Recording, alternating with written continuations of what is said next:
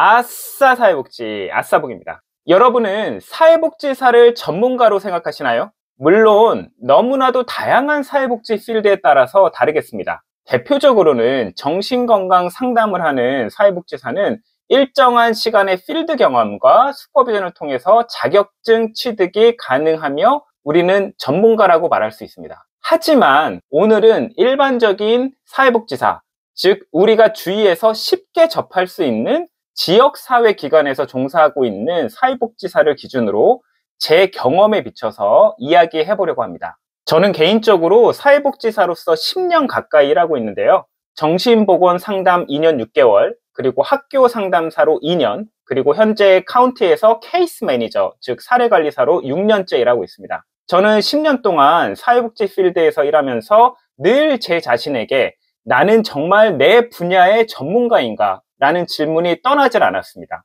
물론 내 분야에 대한 전문 지식이나 경험이 부족해서 절실할 때도 있었지만 사회복지사를 대하는 주변 환경에 의해서 그런 의문을 가진 적도 많았던 것 같습니다. 한 가지 예로 제가 비영리 기관에서 정신보건 상담사로 근무할 때 저희 기관에서 큰 행사가 있을 때면 저는 주로 주차 관리 요원으로 배치받았습니다. 지금 생각해 보면 참 너무 웃긴 얘기인데 그때는 참 제 스스로 안타까우면서도 저희 기관에 남자 직원들이 많지 않아서 어쩔 수 없는 거지라고 순종적으로 받아들였던 것 같습니다. 이렇게 반문하는 사람들도 분명히 있을 겁니다. 아니, 회사나 기관에서 큰 행사를 하고 서로 바쁘고 일손이 없으면 화장실 청소를 할 수도 있는 것이고 의자를 나를 수도 있는 것이고 주차 요원으로도 할 수 있지 않습니까? 물론 맞는 말입니다. 하지만 제가 말씀드리는 누구나 할 수 있는 일을 아무렇지 않게 관행적으로 배당하고 또 당연히 해야 하는 것이 사회복지사로서의 전문성을 저해하는 것이 아닌가 생각해 봅니다. 제가 현재 근무하고 있는 카운티 사회복지과에서는 어, 저는 현재 사회복지사로서의 전문성을 깊이 느끼고 있습니다. 왜냐하면 저희 케어라는 환자의 전체적인 건강 상태와 주변 환경을 복합적으로 평가하는 프로그램을 다룰 줄 알아야 하고요. 그리고 끊임없는 트레이닝의 기회들과 그리고 계속해서 업데이트되는 정책과 규정들을 숙지해야만 합니다. 물론 의자를 나를 때도 아주 가끔 있습니다. 하지만 그 전 직장에서와의 차이점은 어느 누구도 그런 단순 업무를 나에게 지정하거나 관행적으로 배정하지 않는다는 점입니다. 저는 그러한 단순 업무가 필요한 상황에 따라서 잠시 도움을 주었을 뿐이고 그 행위에 대단히 고마워한다는 점이었습니다. 사회복지에 관심이 있으시거나 현재 사회복지사로서 일하고 계신 분들께 꼭 말씀을 드리고 싶었습니다.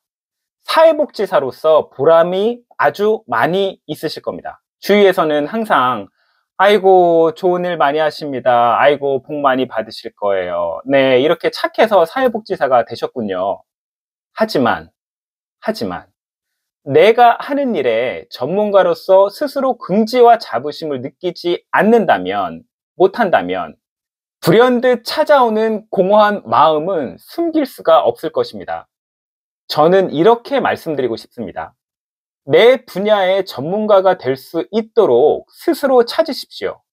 누구보다 더 많이 알고 어느 상황에서도 문제 해결을 잘 할 수 있으려면 시간과 노력을 끊임없이 드려야 합니다. 지금 어떤 특수 분야의 사회복지사로 일하시지만 그 특수 분야에 하나 더 깊이 있는 특, 특수 분야 또는 특, 특, 특수 분야의 사회복지사가 될 수 있도록 멀리 보시고 정진하십시오.